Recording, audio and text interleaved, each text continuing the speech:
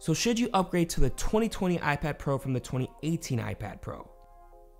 Honestly, no. Don't buy it. Don't waste your money.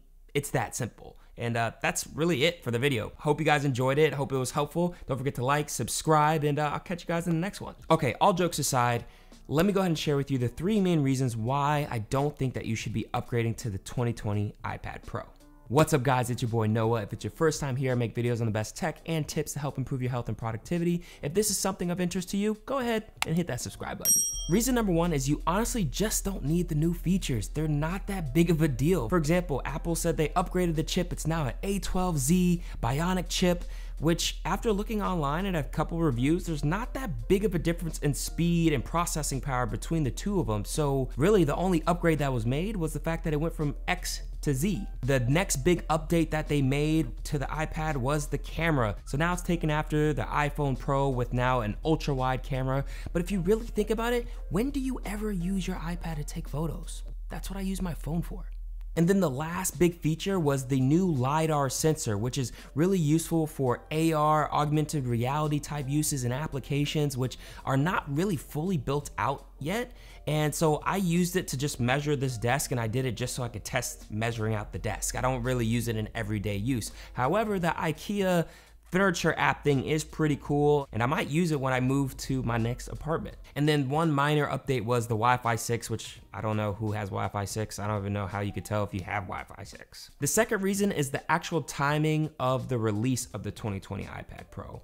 And I did a little bit of digging into Apple's history in terms of product releases, and all of the eye-popping, game-changing products came out in the fall and the winter time. And mostly in the summer and springtime, it was just minor updates, whether it's software or tiny things that people didn't really notice. And if you think about the 2018 iPad Pro, which was like game-changing in terms of the tablet space, that came out in the winter of 2018. My suggestion is just wait for the next six to eight months for the next one to come out. In fact, I think there's rumors that it's gonna have an LED screen as well as 5G, so why waste the money now for it? Reason number three is the price. There's just not that much of a difference between the two to where I could say the price is justified. In fact, I think you can find a used 2018 iPad Pro 11 inch for like $650, $700 off of Amazon. So then you can use that extra money to buy the Apple Pencil and the new Magic Keyboard, which is amazing, by the way. I'm gonna be doing a review on that pretty soon. And you'll be all set with the full kit rather than just buying an iPad and not having anything to go with it.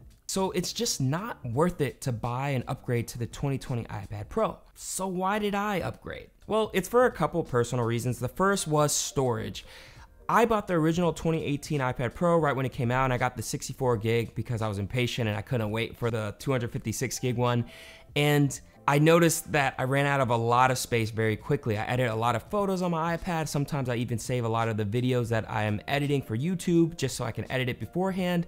And I just kept running out of space. So I wanted to upgrade to the new 128 gigs because I would have more than enough storage for my needs. The second reason was because it was just time to upgrade. So I have a plan with T-Mobile where I can upgrade my devices um, after a year of having a device. And so for me, yeah, I'm paying it monthly, but I just considered it a yearly expense, just like I do my iPhone. So if you're still wondering if you should buy the 2020 iPad Pro, I want you to think about these four individual scenarios. Scenario number one, you have a pre 2018 iPad or just one of the ancient iPads that are super, super old, then I would say go ahead and upgrade to the 2020 version. I think that time is enough for you to go ahead and just jump to the best possible iPad Pro. Scenario number two is that you have the 2018 iPad Pro and you're wondering if you should upgrade to the 2021 do not do it. That was this whole point of the video. Do not upgrade. There's not much of a difference, to be completely honest. Take that money that you were gonna use to upgrade and buy the Magic Keyboard. It is so worth it to get that.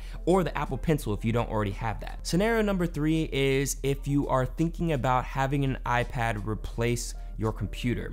And this is again, if you wanna use it for emails, you know, Word doc, and just like maybe you're a college student, then I would say think about your budget it might be worth going to get the best of the best because again, I think that would be the best replacement for a laptop if you want to use it for those purposes. Scenario number four is that you just have money to blow, so just go ahead and make it rain and upgrade to the 2020 version. Anyways, I hope this video was helpful. Question of the day, do you think the 2020 iPad Pro is worth upgrading to? Let me know in the comments below. I hope you guys enjoyed this video. If you did, go ahead and pound that like button, subscribe if you haven't already, and as always, stay healthy, stay productive, and you already know, embrace the hype. Woo!